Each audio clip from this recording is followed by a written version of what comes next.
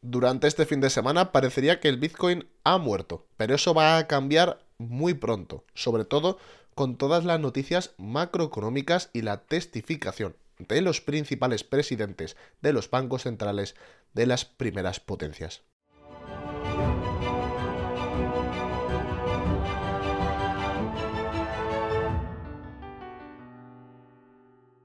Como ya sabéis, es fin de semana y el precio se ha quedado bastante quietecito. Es más, hemos tenido momentos en los que el precio estaría velazo arriba, velazo abajo, pero moviéndose como mucho 50 dólares. Hemos tenido un pequeño velazo el día de hoy a los 22.650 a la mañana, pero nada que nos preocupe. Ahora vamos a pasar con lo que de verdad importa, las noticias, porque esta semana la teníamos bastante tranquilita, pero para la que viene sí vamos a tener noticias macroeconómicas. Como ya sabéis, antes de empezar vamos a ir con las liquidaciones. En este caso el gráfico que más nos gusta, el gráfico de un mes en liquidaciones. ¿Qué es lo que estamos viendo? La liquidez donde principalmente las ballenas tienen que llevar al precio para casar sus órdenes. ¿Qué es lo que tenemos, señores? La zona más relevante de todas, yo creo que es muy característica en estos momentos. Es la zona de los 26.000, 25.500, la zona de los máximos, que estaría ya acumulando más de 5 o 6 píxeles al máximo, lo que sería el naranja, acumulando probablemente unos 20 billones de dólares por cada 100 dólares de precio. Ya vemos como el pelazo que hemos tenido el día de ayer fue para liquidar. Observar cómo justo en el momento que llegó a la zona exacta el precio ya se paró. Hay que tener en cuenta que por la zona de los 21 mil dólares también tenemos una pequeña zona de liquidaciones, pero no tan exagerada como la que tendríamos por la parte alta. Ya sabéis en qué escenario nos deja esto, sobre todo para la gente que ya tiene tiempo en el canal. Cualquier precio, cualquier cierre de vela diaria por debajo de los 21.100, 21.200 por debajo de la zona de flip, bajistas y punto. Y no hay más que hablar. Cualquier movimiento que nos quedemos en esta área de valor importante, la que tenemos por aquí, se ve perfectamente en esta zona de los 22.750, acercándonos a los 23.000, la pondríamos en un movimiento neutro. Ahora, ¿dónde se encuentra la gran mayoría de las liquidaciones? No las encontramos en la parte alta, la zona de los 25.500, 26.000 dólares y que a no ser que caigamos por debajo de la zona de flip, esto sería un escenario totalmente alcista. Pero pasemos a la preparación de la semana que viene. Como hemos comentado, tenemos bastantes noticias macroeconómicas que van a afectar al precio.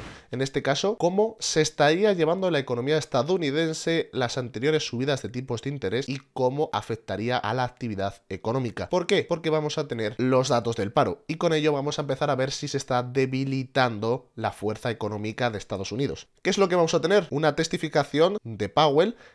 el día martes 7 de marzo a las 4 de la tarde horario español, seguido de el miércoles día 8 la misma testificación por parte de Lagarde, la presidenta de la Comisión Europea, para después acabar unas horas más tarde, también a las 4, a la apertura del mercado americano con otra charla más de Powell. Justo a la misma hora estaremos viendo las primeras cifras sobre el empleo de Estados Unidos para luego ya terminar de ver cómo estarían estas cifras de empleo económico en Estados Unidos y cómo estaría afectando a la actividad económica subida de tipos de interés más la inflación el día jueves con estas iniciales bajas del mercado laboral para después culminar el día viernes ya sí que sí con el porcentaje de desempleo de Estados Unidos. Y para fulminarlo, por si todavía no hemos acabado con las noticias, vuelve a hablar Lagarde. ¿Qué es lo que tenemos, señores? Un breve resumen. Dos testificaciones de Powell para hablar de cómo estarían previstas las subidas de tipos de interés, que para quien no lo sepa es el 20 algo de este mes, para dentro de dos semanas aproximadamente, seguido de otras dos testificaciones de Lagarde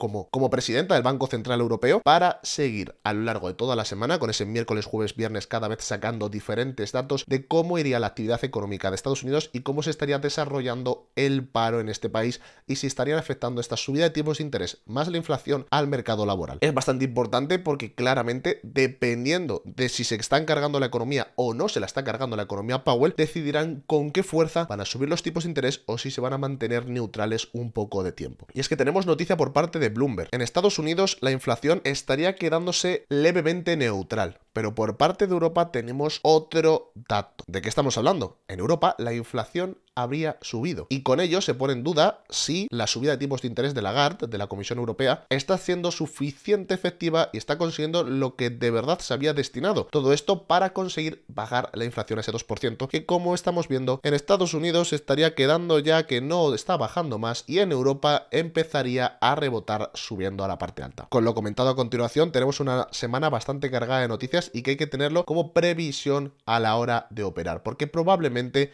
y como ya sabéis, va a afectar al precio. Como repaso de donde nos encontramos, Bitcoin se encuentra en lo que sería la parte baja de la zona de flip. Si llega a bajar mucho, tenemos totalmente contexto bajista. Mientras tanto, podemos seguir pensando hasta que eso ocurra, ese contexto se active de ir a por las liquidaciones de la parte alta. Ahora vayamos con el SP500. Teníamos un reingreso al valor y sobre todo lo que se le llamaría esta, esta maravillosa bear trap que como ya sabéis en todos lados estaban anunciando esta línea de tendencia y qué es lo que han hecho los market makers. Jugar con ella. Te la tocan un poquito, parece que se está rompiendo y cuando menos te lo esperan te meten un velazo hacia la parte alta. Hay que ver cómo el precio desarrolla a lo largo de la semana porque hay una cosa que hay que tener clara. El escenario bajista que teníamos, este, que veis aquí, ¿cuándo desaparecería? ¿Cuándo ya se rompería? Y podemos decir que hemos fallado en la predisposición que teníamos en el SP500. Pues se rompería en el momento que atravesásemos los 4150. Con ello ya el contexto bajista acabaría roto, nos cogemos el stop loss, cogemos el fallo y vamos al siguiente trade. Para ello aún falta bastante, pero simplemente quiero recordar cómo usan las líneas de tendencia los market makers. Aquí, ¿qué es lo que estamos viendo? Nuestro primer toquecito, su segundo toquecito y en la tercera te hacen parecer que están defendiendo el precio en esta maravillosa línea de tendencia para meterte un cañonazo para abajo, para luego ¿qué? ¿Qué es lo que va a pasar? Como lo hemos apodado en otros momentos, nuestra maravillosa meme tendencia, que también la hemos tenido en Bitcoin en 4 horas y enseñar qué es lo que acaba pasando con este tipo de tendencias que hasta en la televisión te las están enseñando. ¿Qué es lo que tenemos? Por Bitcoin teníamos más o menos lo mismo.